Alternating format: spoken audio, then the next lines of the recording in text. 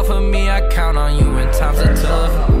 Instead of holding you down, I should lift you up. It hurts me when you start to see my flaws. But just to save you, I risk it all. Short on time for you, I never.